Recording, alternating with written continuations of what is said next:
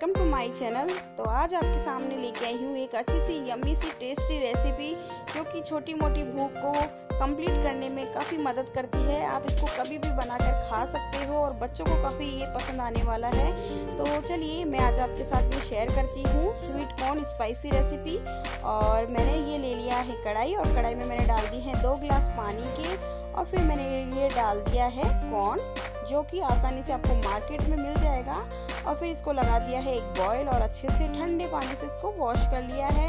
और यहाँ पर मैंने लिए हैं कुछ मसाले, जो कि काला नमक है, चाट मसाला है। और ये एक चीज़ का क्यूब्स लिया है मेल्ट किया हुआ बटर लिया है। और वेजिटेबल में मैंने लिया है चॉप किया हुआ टमाटर चॉप किया हुआ प्याज और चॉप किया हुआ हरी मिर्च एंड धनिया पत्ती।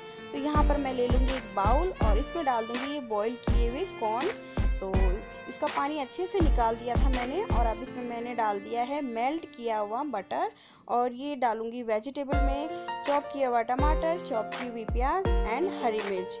तीनों को अच्छे से डाल दूँगी। आप इसमें चाहो तो गाजर भी डाल सकते हो, बिल्कुल बारीक करके, शिमला मिर्ची भी ऐड कर सकते हो। और फिर मैं डाल दूँगी धनिया पत्ती और थोड़ा सा मैंने बचा लिया था गार्निश करने के लिए। और अब डालेंगे मसाले तो मैंने काला नमक डाल दिया है। और चाट मसाला डाल दिया है और फिर डालूँगी स्वाद के अनुसार नींबू का रस। अगर आपको खट्टा पसंद नहीं हो तो उसको अवॉइड कर दीजिए। और फिर मैंने डाला है टेस्ट के अकॉर्डिंग थोड़ी सी लाल मिर्च का पाउडर अगर आप बच्चे के लिए बना रहे हो तो इसको अवॉइड कर दीजिए। और आप बना रहे हो तो डाल सकते हो। ये आप पे डिपेंड करता है कि आपको लाल मिर्च डालना है, नहीं डालना है। तो मैं थोड़ा सा स्पाइसी बना रही हूँ, इसलिए मैंने लाल मिर्च ऐड किया है। और फिर मैं इसमें डाल दूँगी चीज़।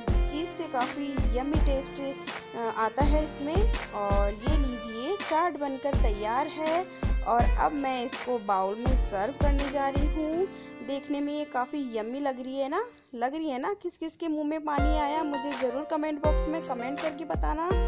तो अब मैं डाल दूँगी इसमें धनिया पत्ती। अच्छे से इसको गार्निश कर दूँगी ताकि चाट हमारी देखने में बहुत ही यम्मी और टेस्टी लगे और इसको देखते ही खाने का मन कर जाए।